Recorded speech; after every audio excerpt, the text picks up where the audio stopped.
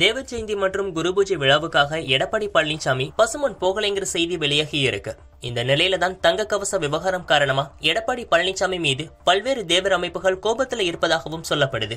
அதிமுகவில் இப்ப தேவர் சிலைக்கு அணிவிக்கப்படக்கூடிய தங்க கவசம் தொடர்பா மோதல் ஏற்பட்டிருக்கு.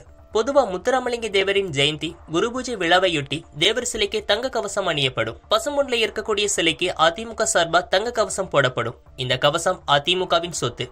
தங்க கவசத்தை போட்டுட்டு பின்னர் பூஜை முடிஞ்சதும் அதை பேங்க்ல மறுபடியும் பாதுகாப்பா வச்சிடுவாங்க. இந்த தங்க கவசத்தை யார் பெறுவது? அதை குரு பூஜை அன்னைக்கு யார் விழா கமிட்டி கிட்ட கொடுப்பது என்கிற போட்டிதான் எடப்பாடி பழனிசாமி மற்றும் ஓபிஎஸ் இடையே நிலவிட்டு வருது. ரெண்டு தரப்பும் இந்த தங்க கவசத்தை பெறுவதற்கு தீவிரமான முயற்சிகளையும் செஞ்சாங்க.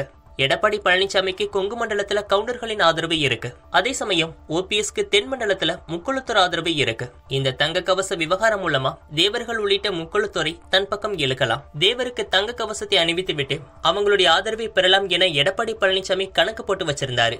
இதுக்காக திண்டுக்கல் ஸ்ரீனிவாசன் ஆர் பி உதயகுமார் ஆகியோரையும் வச்சு தீவிரமா காய் நகர்த்திட்டு வந்தாரு. அதோட எடப்பாடி தரப்பு பொருளாளர் என்கிற ரீதியில கவசத்துக்கு திண்டுக்கல் ஸ்ரீனிவாசன் உரிமை கோரிட்டு வந்தாரு. இதுக்காக வழக்கு கூட தொடுத்தாரு.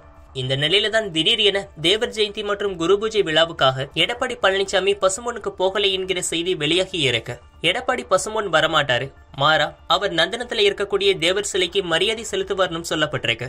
இதுதான் தேவர் சமூகத்தைச் சேர்ந்த பல்வேறு சங்கங்களை கோபத்துக்கு உள்ளாக்கி இருக்கு எடப்பாடி பழனிசாமி பசுமொன்னுக்கு வரமாட்டாரு. குரு பூஜைக்கும் நேர்ல வரமாட்டாரு. ஆனா தங்க கவசம் உரிமை மட்டும் அவங்களுக்கு வேண்டுமா? இது எப்படி நியாயம்? சென்னையில இருக்கக்கூடிய அவருக்கு எதுக்கு தங்க கவசம்னு தேவர் சமூகத்தைச் சேர்ந்த பல்வேறு அமைப்புகள் கொதித்து போய் உள்ளனர். எடப்பாடி மீது தேவர் சமூக அமைப்புகள் கோபத்தில் இருக்கிறதுனால இன்னொரு பக்கம் ஓபிஎஸ் உற்சாகத்தில் இருப்பதாகவும் சொல்லப்படுது.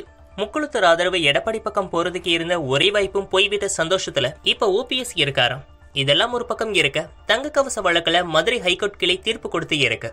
தேவர் தங்க கவசத்தை தங்கள் கிட்ட கொடுக்க வேண்டும் என்கிற இபிஎஸ் மற்றும் ஓபிஎஸ் கோரிக்கைகள் நிராகரிக்கப்பட்டு உள்ளன. இந்த ரெண்டு தரப்பின் கோரிக்கைகளையும் மதுரை உயர்நீதிமன்ற கிளை ஒட்டுமொத்தமா நிராகரிச்சு இருக்கு மாறா உச்சநீதிமன்றத்துல வழக்கு நடக்கிறதுனால தேவர் தங்க கவசத்தை மாவட்ட வருவாய் அலுவலர் கிட்ட ஒப்படைக்கவும் உத்தரவு பிறப்பிக்கப்பட்டு இருக்கு இதனால தேவர் ஜெயந்தியின் போதும் தங்க கவசத்தை வருவாய் அலுவலர் விழா கமிட்டி கிட்ட கொடுப்பார்னும் எதிர்பார்க்கப்படுது.